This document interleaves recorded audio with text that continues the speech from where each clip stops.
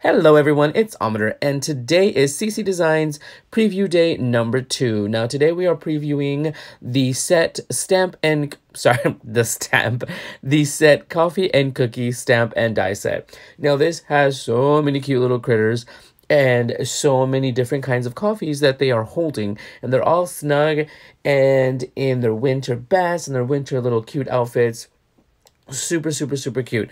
So what i decided to do was uh, first thing i could think of when i thought coffee was of course my favorite starbucks. And after that after i had a latte i said you know what? A good idea would be gift card holders. It is the holiday season and we'll be making gift card holders for friends and for family co-workers whatever the situation is. So i slapped on my copics and i went ahead and started coloring. Now i ironically do not remember all of the Copics that I used, and I did already put them away. Good job, Amador. As you can see, I hold some of the lids up on the up to the screen. I mean, um, in front of the screen so you can see.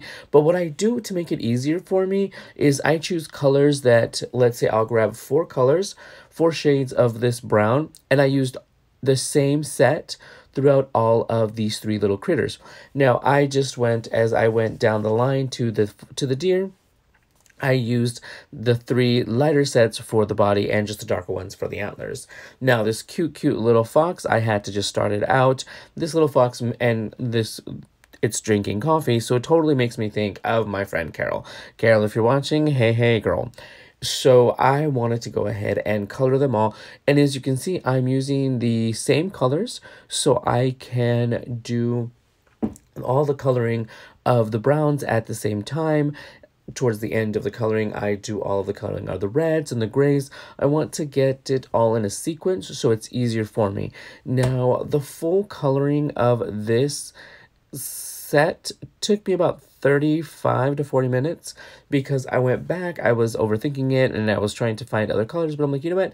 Stick with the same series of colors, and that would be absolutely perfect for these little critters. Like I said, I use the same four, just back and forth from the lightest to the darkest to be able to show a different variation of the colors, but they are the same colors. And along with the grays as well, they are the same colors. Now for the ears and the cheeks, I do use R30. It's a little bit lighter than the most that people use is R20. Because I like that lighter look and uh, there's this is R00 for the inside of the ears, you know, the pink soft part of the ears, something light, something soft, and you can see most of the colors. This is E, the darkest one is E37, E35, E34, and I also, or 33, excuse me, and I also use, I think, um, E41, and for the pants, because I made all of their pants the same kind of khaki colors, I used all the same on all three of them for their pants and their shorts. It was just easier that way. But like I said, if you see on the screen right there, I do try to hold all of the Copic caps to the front so you're able to see them and take note. I know when I started to learn how to Copic color, I did watch a lot of people coloring and that is how I chose the colors that I use for me to buy because let's be honest, they're not cheap. But I had to um, splurge and get some of these going. So here, I guess I said I used the R30 for the cheeks. It's just a softer pink than what um, what most people use. I just like it, it as a lighter color.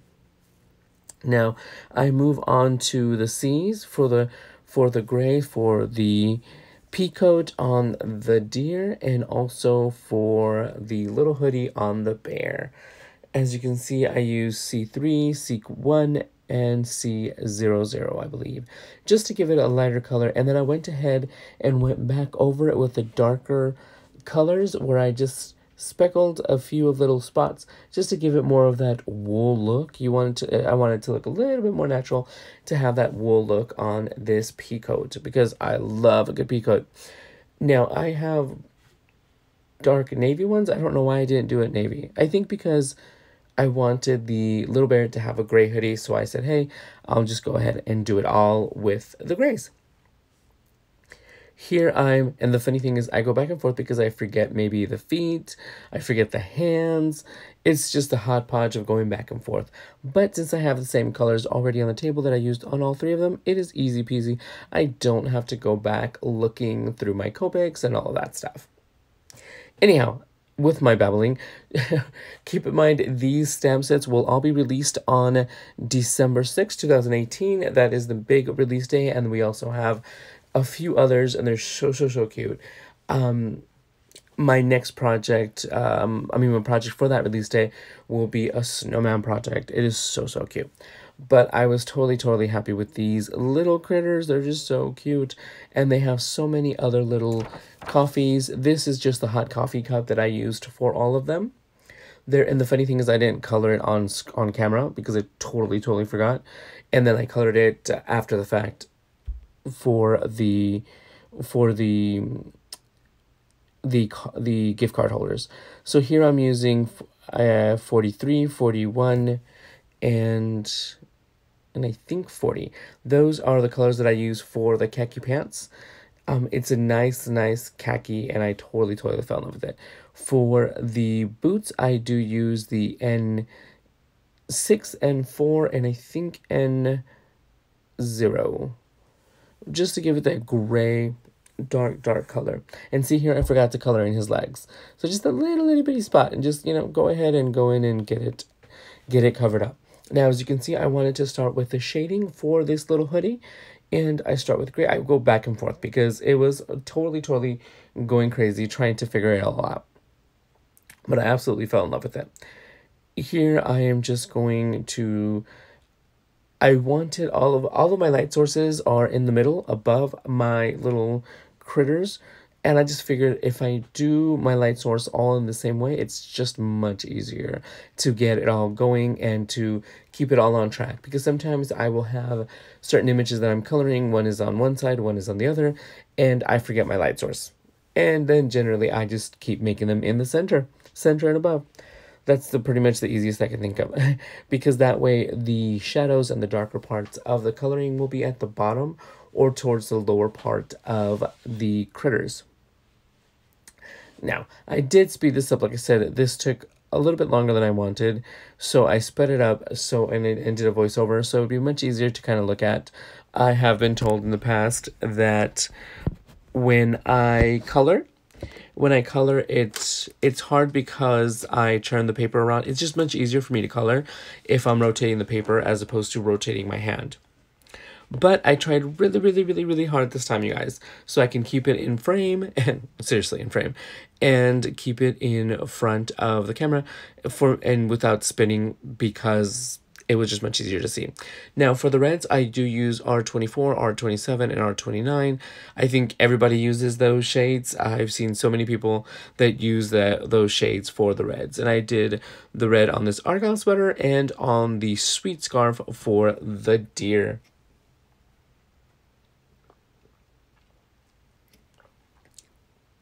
Now, as I'm finishing up, I do a little bit of the C0, I'm sorry, the W1 and W0 on the whites of this Argyle sweater just to give it a little bit of shading. And the red of the scarf, I just, oh my gosh, I just love this little scarf. It's all flowing in the wind. And I start with the darkers, the R29, then go to R27 and then R24. I wanted to keep it as simple as possible, as least amount of um, coloring and shading that I was going to do. But I went back and forth trying to get a little bit of that darker in the shadowy parts. I just didn't want it to blend into one color. And voila, here I have them die cut. And like I said, I forgot that I put, I colored the little cups in the um in the aftermath of everything. And I, with the little stripes, all I did was I used the same colors that I used for the khaki pants, and I just drew little stripes going down to kind of show that corrugated part of the coffee sleeve. Now I'm using this Honeybee Stamps coffee cup die. This is the coffee card die.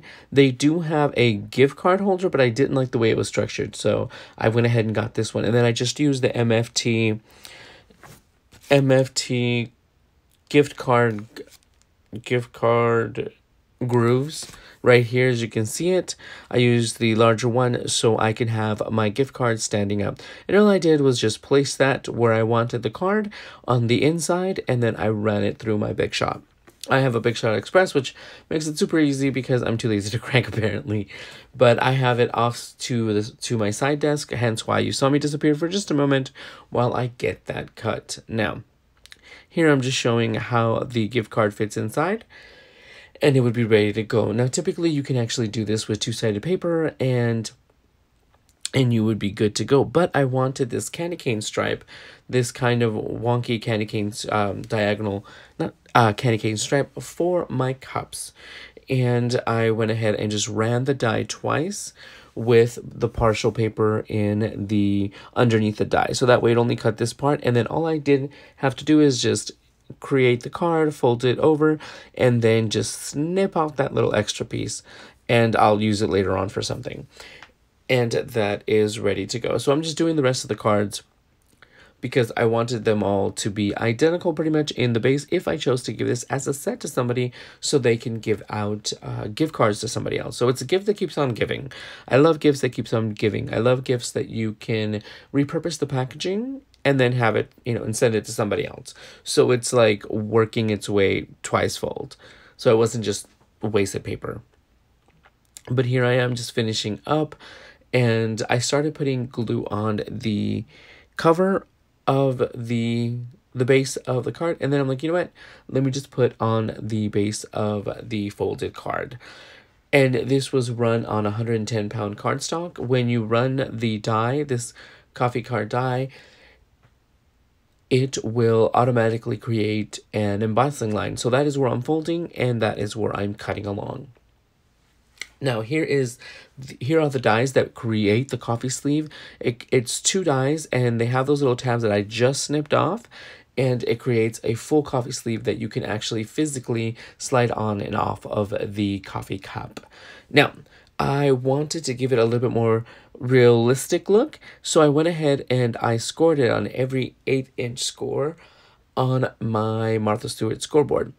Now, I started with the, I moved to the bone folder, but then I remembered that the bone folder, the silicone bone folder does not leave any shiny parts, and I kind of wanted that with the, so to accent the faux corrugation of the card, of the cup what is it called? Coffee sleeve. The coffee cup sleeve had a more of a realistic feel. Now, the lids, I just die cut them out of heavyweight cardstock as well.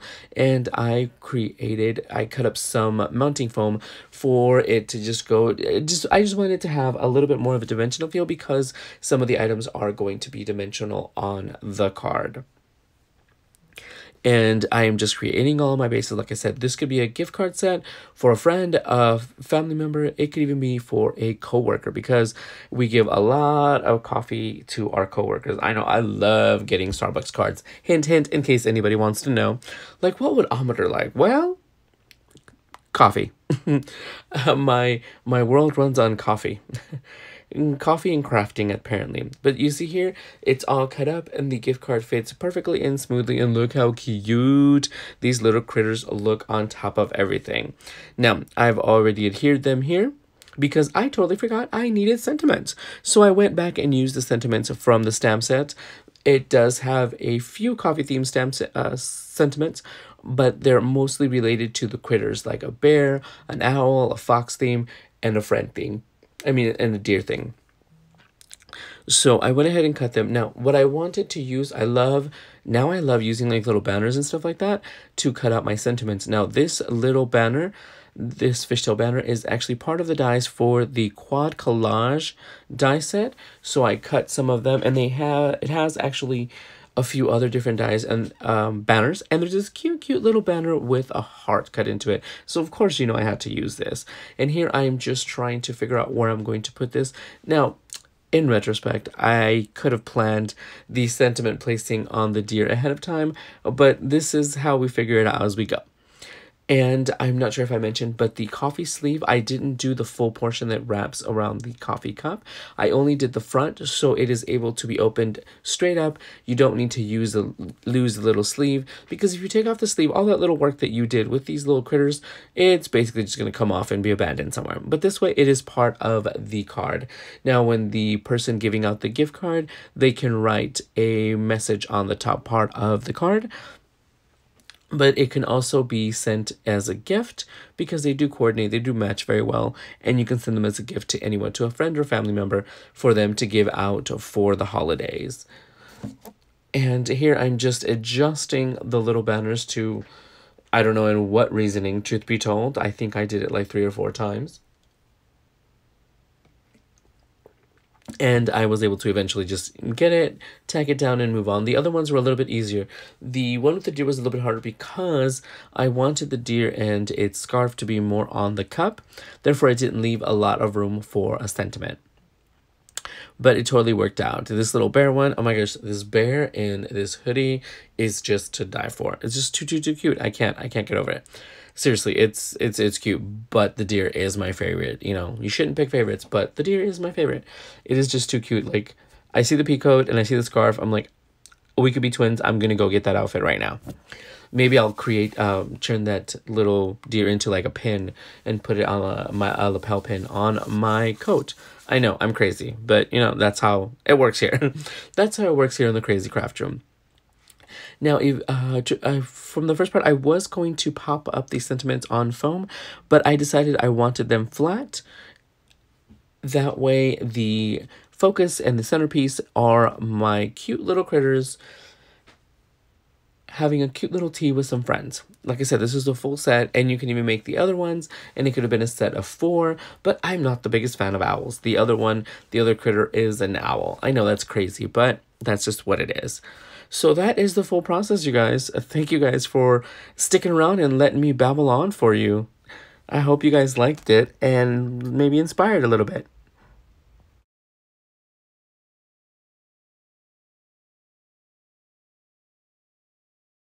So now here we have our three, our finalized gift card holders. The gift card is right in there. I have several other ones, but this is just one that I used already. So these are already set. You can make this a gift set or anything super quick and easy it was just harder figuring out which way I was going to layer those little banners. That may have been better planned. it, it, may have been better planned, but um, I think it's adorable. I think it makes it work, and I absolutely love the centerpiece of these gift card holders that are these beautiful, beautiful little critters in their winter wear. So thank you guys for stopping by. Check out CC Design Store, and the new release is coming up in a couple of days. So make sure you check out, take a look at the store. But how cute are these? All right, everybody. Thank you for stopping by, and I'll talk to you guys soon. Bye, everyone.